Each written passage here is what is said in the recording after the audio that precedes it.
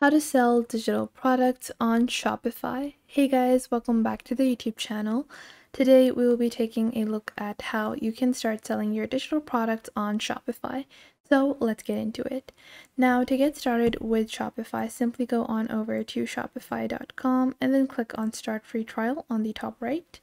This will enable you to answer a couple of questions or you can just skip these and directly move to their sign up process. So you can sign up via your email address or your Google, Facebook, Apple or or Facebook or Google account. So you have a bunch of different options to sign up. Just select whatever you want and then just enter your details and you will be able to sign up. Once you have signed up, this will be your dashboard. So this is your basic dashboard. I'm first going to give you guys a basic overview of Shopify. Then I'm going to move forward to how you're supposed to create your digital product and a few limitations. Then how you're supposed to upload these onto Shopify. So first off, this is Shopify's basic homepage. Then on the left side, you will find your homepage, orders, products, customers, content, analysis, marketing, and discounts. Then you have your online store. So setting up your online store is probably going to be the most difficult part. So we're just going to go through it first. So first off, you're going to click on this and you will have a theme. Now, this is a password protected website. So you can click on uh, pick a plan over here and remove password protection off of your website if you have you know finished setting it up if you're just setting it up you can leave it as password protected but uh, just to get you know everything you need to start a store. This is like the basic version of Shopify starts at $1.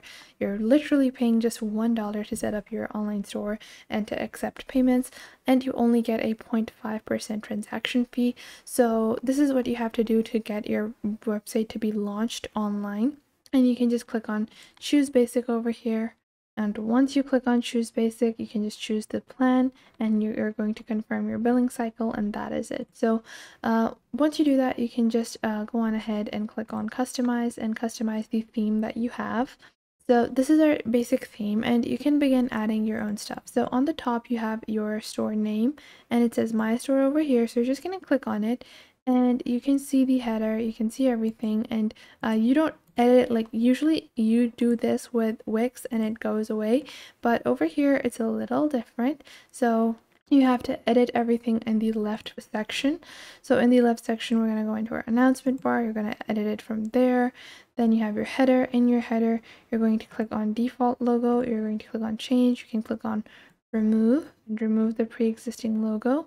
Then you have your main menu drop down uh, you know, store names, all that. So we're just going to select a logo images or free images like this. So you can choose any kind of logo image that you want. That is totally up to you. But I'm just going to go on ahead and inverse this. Now after that, I'm just going to click on select image and you can upload your own logo. I'm just doing this as a sample. Now below that we have our image banner and if I click on the image banner, you can see you have your second image and we can upload whatever we want uh, over here in our image banner. So like this as a sample, I'm just adding this image.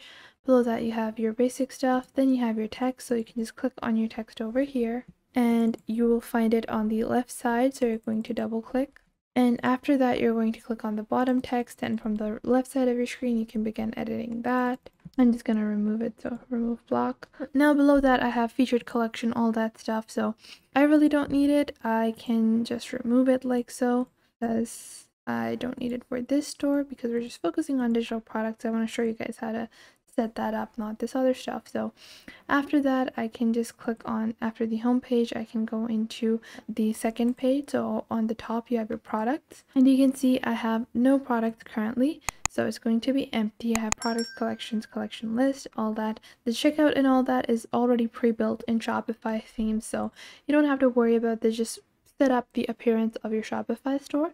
Once you've done that, I'm just going to exit it. And now we're just going to enter our product. So I'm going to click on product and even with digital products you're supposed to create categories because it makes it easier for your customers. Your customers find it easier to navigate uh, to find what they want. So I'm just going to click on my products, click on add your product and let's say that I have a baby announcement frame and then you can add a description adding a basic description. Then you're not going to add media, but just scroll down and you will be able to see shipping. In your shipping section, you're going to select digital product or service. Now, after that, you can uh, begin uploading media.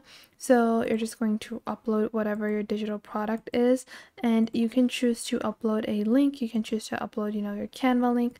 So let's say this is the product that I created. So what I like to do is I like to click on share and click on template link over here, click on copy.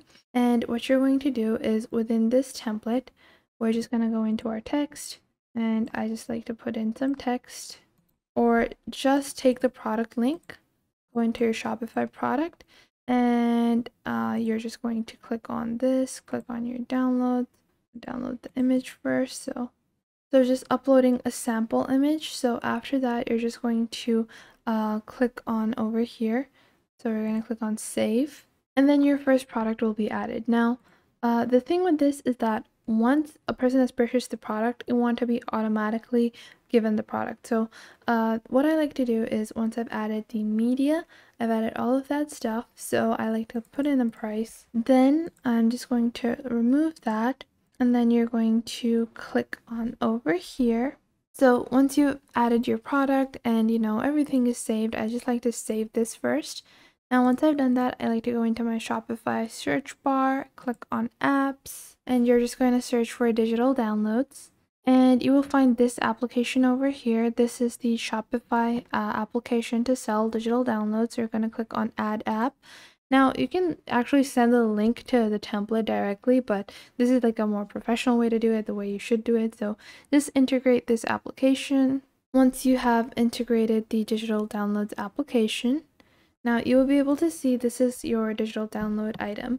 Now once you do that, you're going to click on add file and you're going to upload the link or whatever it is. You can just go on ahead and create a word doc. So i'm just going to create a word doc and paste the link to the canva design template. Save this. And now i'm going to add the file this. So i'm just going to open this over here. And now i'm going to click on publish now what this does is that once someone purchases the item, this file will automatically be sent to them and they will be able to access it.